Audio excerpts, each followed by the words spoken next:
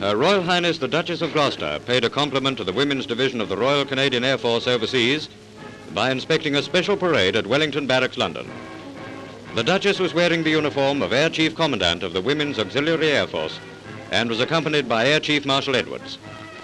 From a dais erected in the Barrack Square, Her Royal Highness took the salute at a strikingly impressive march past.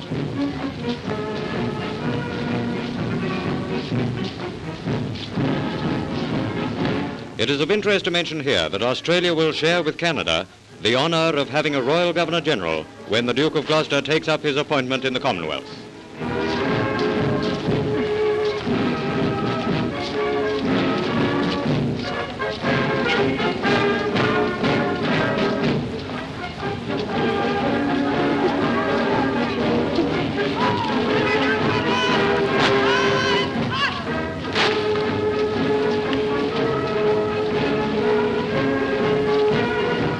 Beneath the pale blue flag of the RCAF are gathered many Canadian service men and women who had come to watch the ceremony. It is one of those days which will stand out in the memory of everyone, be they in the parade or lining the railings in quiet admiration.